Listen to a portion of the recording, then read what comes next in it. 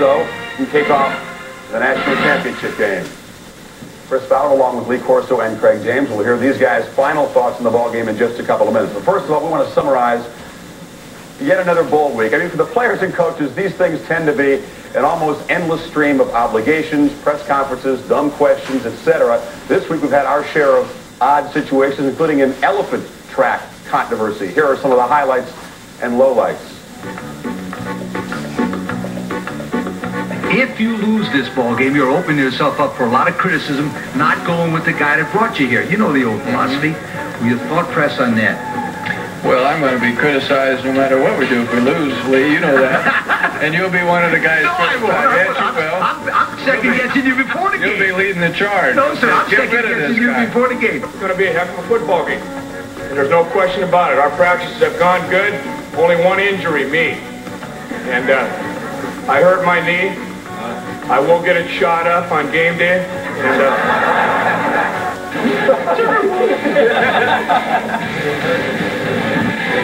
You come out of retirement? I'm good. If you guys are blocking, I'm coming out, big boy. I'm in from Miami. They're going to need you. I was trying to explain who was going to play quarterback to Lee Corso. It took me about six hours. Uh, How tall are you? Because I tell you what, I can eat spaghetti off your head. How tall are you? Lee's kind of a slow study, as you know. Well, it's hard to get them close. Which one of those coming? I hope it's the biggest one, so I'm ready. And then where, we- where, what hospital will you be going to after that?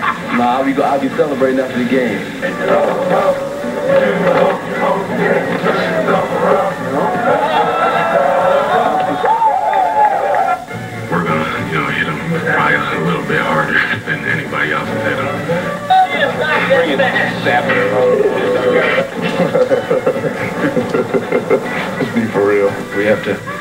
Over the elephant tracks. Uh, that'll make make for some interesting play calls. We have to avoid the elephant tracks.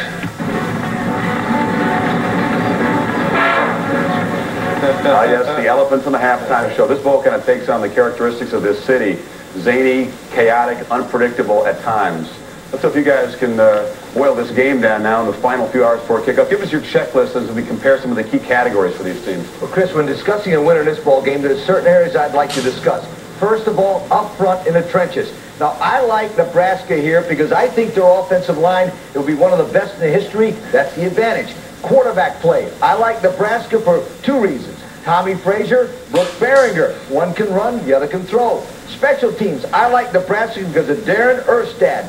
He's not only a good punter, he's a long field goal kicker. But now I like Miami when it comes to the skill people. The reason their height advantage near the goal line, I think that'll be a great play for them. Now, Hall of Fame coach Bob Devaney of Nebraska told me that they he thought that Nebraska was the finest football team he had ever seen at Nebraska, and he'd been there over 40 years. I'm picking Nebraska by three points because of what Devaney says, and I think of their team speed. They're a great football team, no question about that. Now, I'm to your checklist. Just so I, explained this last night to about 10,000 people. In the trenches, I'm going to have to go with Nebraska. There's no debating that their offensive line is awesome. Quarterback play, now here's really where it gets kind of tricky here. Nebraska's got some great players, but because of the opportunities man-to-man, Frank Costa gets the nod there. Special teams, Dane Prewitt is 13 of 13 inside the 40-yard line. I really think it comes down to a kick in the ball game. And home field advantage, there aren't enough checklist points that I could put for that one. They have lost one game, Miami that is, since 1977 at night in the Orange Bowl. It is a different monster. There is not any environment in any playoff, any environment that matches what this does. Where were those 10,000 people, by the way? Uh, I think we all agree that Nebraska is a better team on a neutral field, but you're right, the Orange Bowl, the big, big factor. Now we want to get the thoughts of the senior member of our team on this ball game, but first, we want to flash back to late August. who will be number one on January 3rd? Because the bowl games are on the 2nd this year, except for the Orange Bowl. In the Rose Bowl, Joe Paterno will win his third national title. And Beano Cook joins us now. Happy New Year, Beano. Do you still feel the same way as you did in August? Yes, we said Nebraska would lose on New Year's Day uh, in the Orange Bowl, and Penn State would win the national title, and we haven't changed. Miami 31, Nebraska 10. We are rooting in a way for Tom Osborne. We're not rooting for Nebraska. We're rooting for Tom Osborne because if he doesn't win, he's going to be criticized again. Beano, last year officiating played a big part in this Orange Bowl, at least according to Nebraska fans, with the ACC officials, or the Big East officials, I should say. Now, what about the officials in this ball game? They're Big Ten officials tonight. Yeah. First, Chris, officials are politicians, and these are Big Ten officials, and Nebraska will not get any breaks. Let's go back to 1991. Penn State, Miami playing during the regular season in the Orange Bowl. Big Ten officials. Three penalties against Penn State for 15 yards, 11 penalties against Miami for 124 yards. If Nebraska is able to overcome the home field, the Big Ten officials, and a very good Miami team, they deserve to be number one. But it's not going to happen. All right, Beano, Happy New Year to you. Thanks for joining us. Let's hope the officials don't play a part in this ball game. We're back here later on Sunday Sports Day from Miami, but coming up next, Face Off. Who was the best athlete of 1994? Frosted cornfields, always imposing, always highly ranked, but destined, it is seen, for disappointment. He has these winters in his blood, the native son who never left, who in another time was twice the state's athlete of the year, a marvel who competed for his small hometown college. Tom Osborne, 22 seasons, 218 victories, 11 conference titles, but still bearing with serene dignity the January memories. Memories of hot, humid nights in Miami. When it was all or nothing in a stadium a long, long way from home.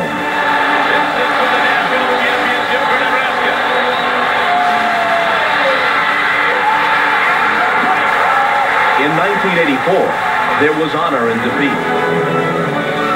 Ten years later, redemption was just one play away. 45 yards to give Cinderella, Nebraska the national championship.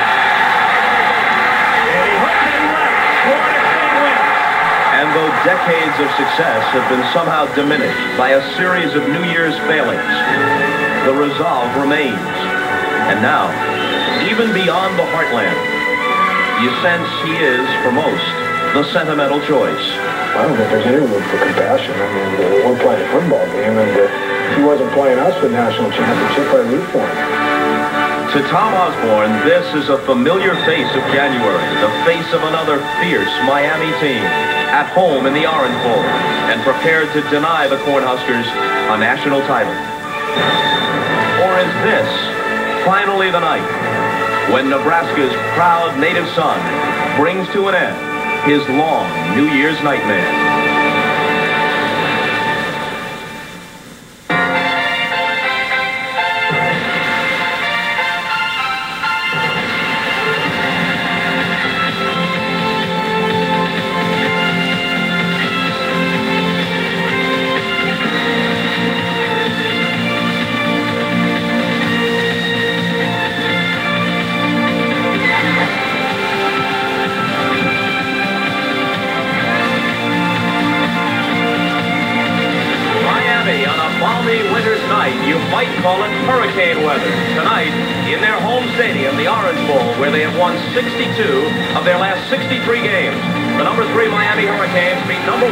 Undefeated Nebraska, seeking to become college football's national champions.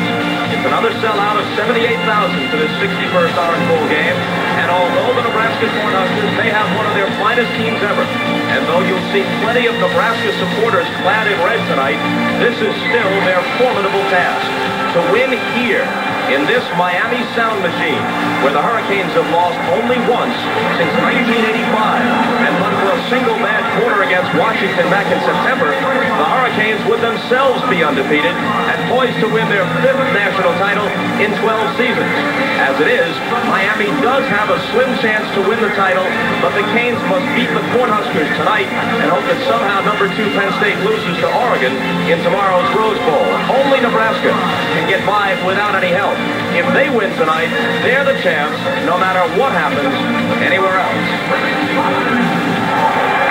Everybody. I'm Bob Costas. Happy New Year to you. These are the trophies signifying an Orange Bowl victory and the national title, both at stake tonight. Nebraska is seeking its first national title since the Johnny Rodgers team of 1971, and the first in Tom Osborne's 22-year tenure. An otherwise magnificent tenure diminished by New Year's Day and night setbacks.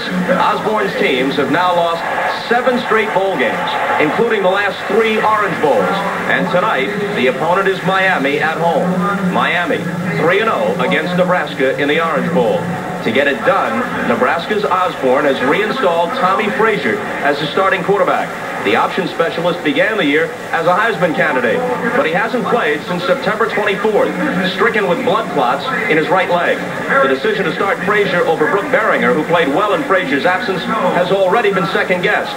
But Tom Osborne has long since become accustomed to the scrutiny and criticism that comes with the territory. 22 seasons of excellence, icon status in his home state. Yet he has never made himself larger than his team. Guarded, stoic, we probably know Tom Osborne best, not from his words, but from a moment, a defining moment, the 1984 Orange Bowl.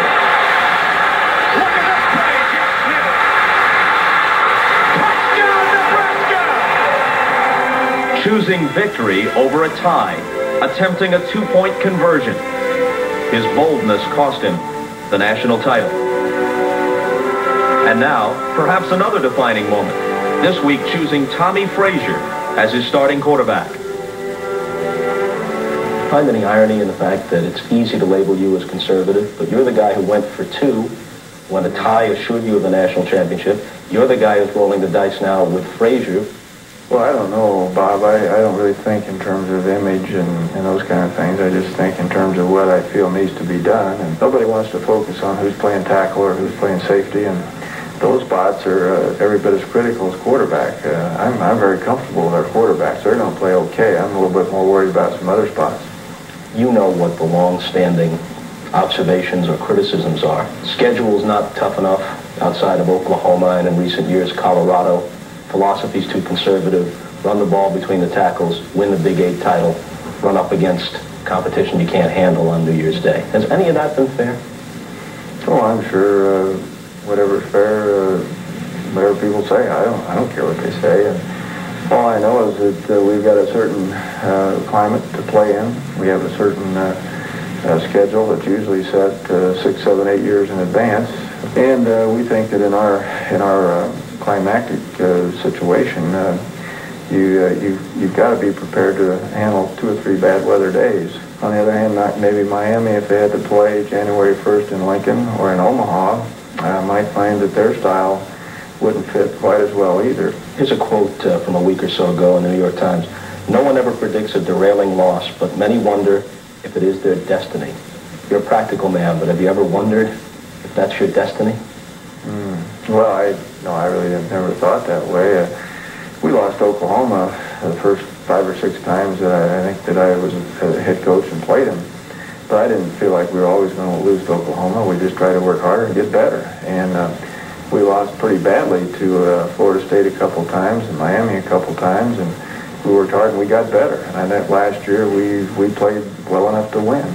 I asked Bobby Bowden this a year ago, and he tried to put it in perspective. He said the world wouldn't end. But when I asked him, would your resume be incomplete if you never got a national championship? He said yes. How about you? Well, I don't, I don't think so. I think in the eyes of a lot of people, uh, that would be the case. Uh, but I really don't tend to measure uh, success or whatever I've accomplished or haven't accomplished in football so much in wins and losses. I, I think when, when you die, they always say, well, he won so many, he lost so many, he won so many national championships, or he didn't. And, and yet I think that's kind of a hollow way to look at it. You feel a kinship at all with guys like Marv Levy, Bud Grant? Great coaches. Grant's in the Hall of Fame. Levy's probably going there. Did everything but win the Super Bowl. Mm-hmm. Similar position to, at least at this moment, where you are. Well, I I don't know if I feel a kinship, uh, Bob, but I I'm, i never cease to be amazed at uh, the mentality that uh, you know the Minnesota Vikings were losers or that the Buffalo Bills are losers. It's kind of an interesting commentary on our society. It's kind of like if you're not number one, you're nothing. I mean, to win 12 games, to to go through what our players have gone through this year, I, I admire them greatly. I don't necessarily admire me as a coach. I admire what the players have done in terms of their their commitment, their devotion, and their determination to get back down here and to try it again. In our interview, Osborne also said he supported some form of college football playoff. The present Bowl Coalition and upcoming Bowl Alliance have improved the chances of crowning a true national champ, but they are at best imperfect. This year's top teams being a perfect example, as both Nebraska and Penn State could wind up undefeated and yet never meet on the field. Said Osborne, we've gotten so conscious of payoffs and money, we've almost sold our souls. There should be some way to get it done. Coming up, a tale of three quarterbacks. Nebraska's Tommie Frazier is one. He's back as the starter tonight. And then there's backup Brook Berringer, 7-0 in relief. And the forgotten man in all of this, Miami's Frank Costa. We'll return to the Orange Bowl after this.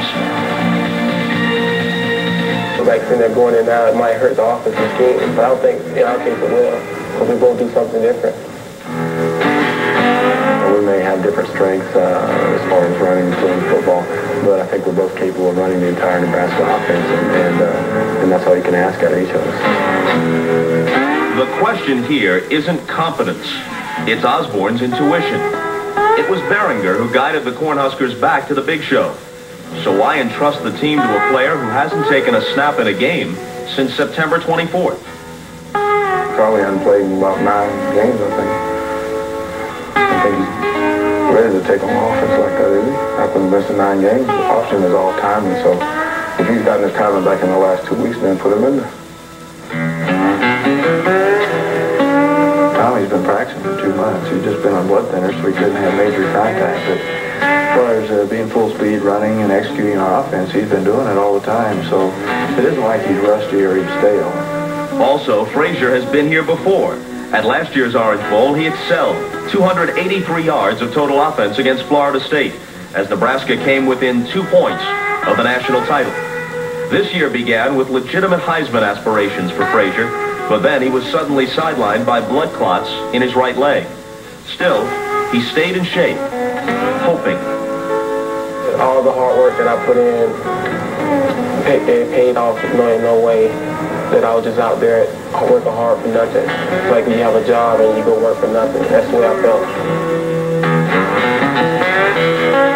And we hate to get it this way, but it's been a great opportunity for me to get out and, and show what I can do and prove my coaches and teammates that, that I was a capable player.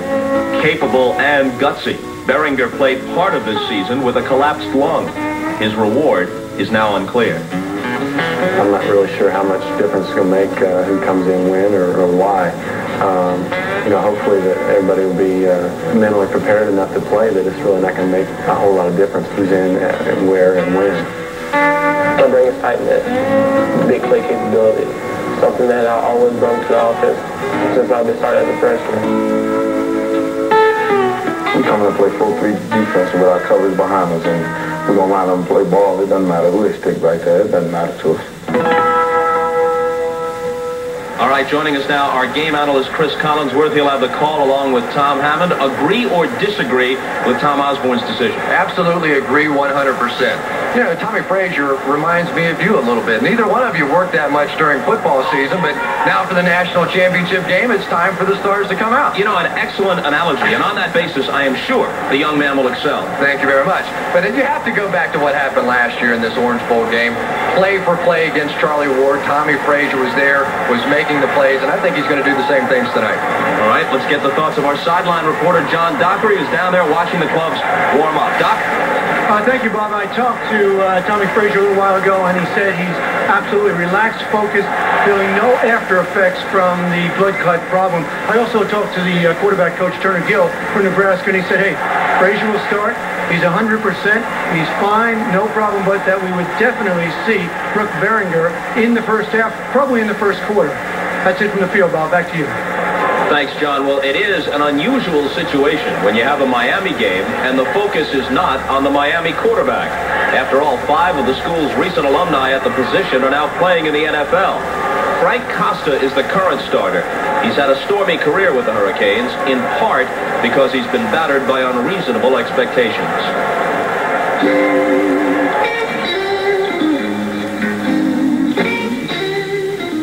At Miami, winning and winning big is expected.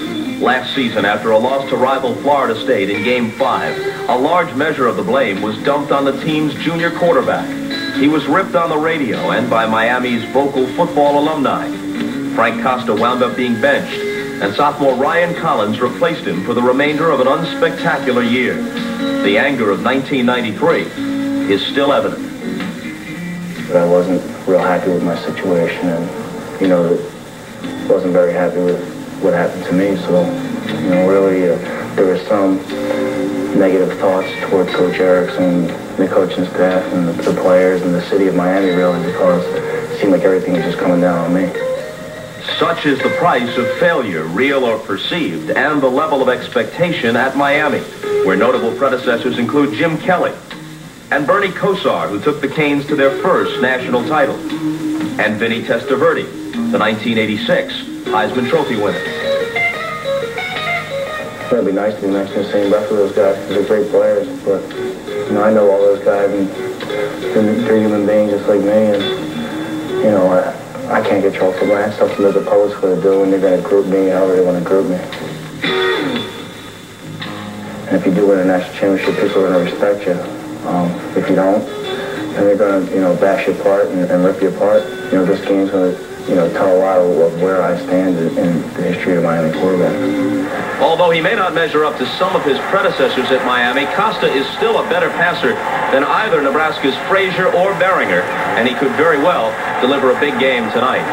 Now, late yesterday, Tom Osborne injected another element into the Nebraska quarterback debate. Call it the elephant equation. Five elephants appearing in tonight's halftime show. There are the plodding and pungent pachyderms.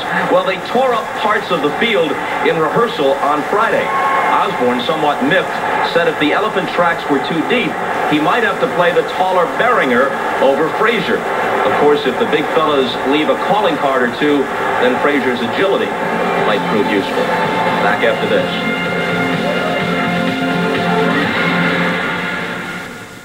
Here's the layout. I like it. ProShare Video puts you in touch fast with a Pentium processor inside your PC. Working at home must be great. Yeah. The Intel Pentium processor. That's a porcupine fish. No! Programs like dangerous creatures make a splash with a Pentium processor inside your PC. What's a piranha? you don't want to know. The Intel Pentium processor.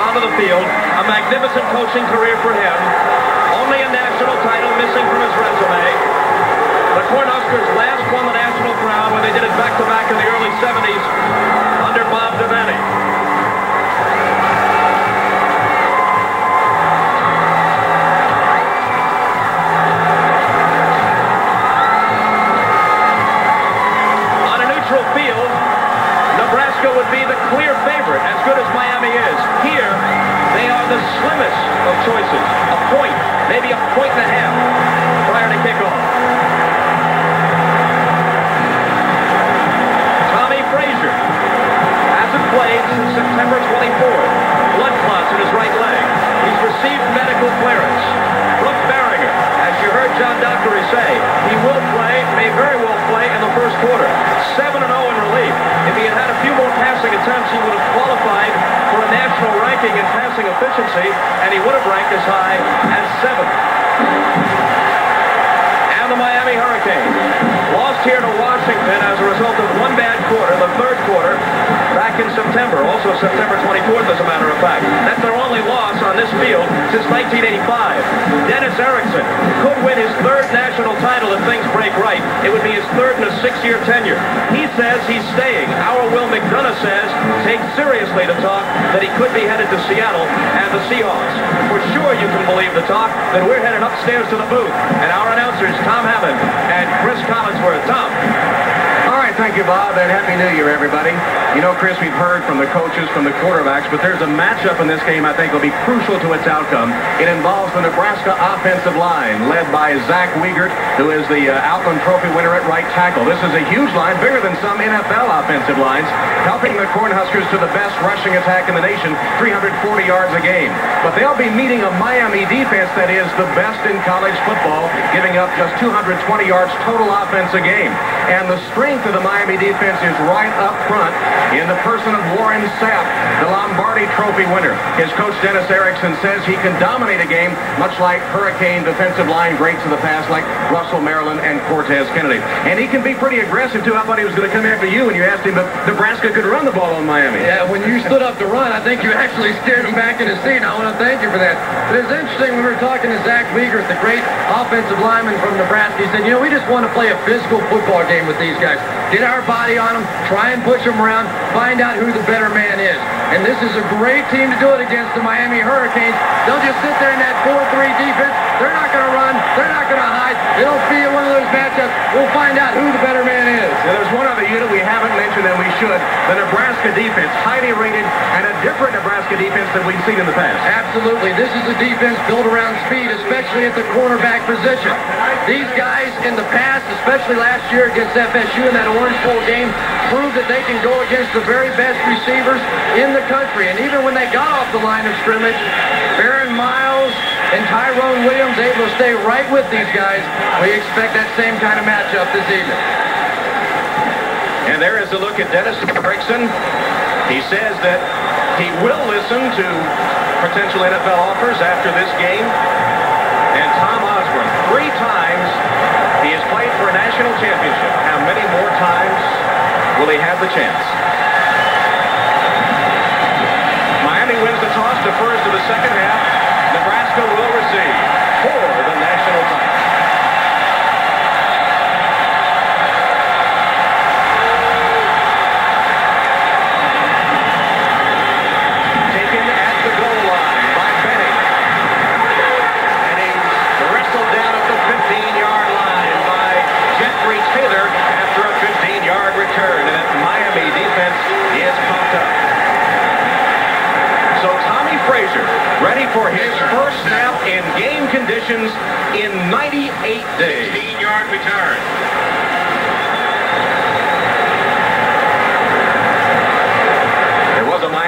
shaken up.